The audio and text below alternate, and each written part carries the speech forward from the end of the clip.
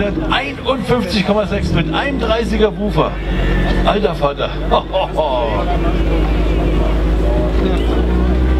Das ist wirklich granatenscharf hier.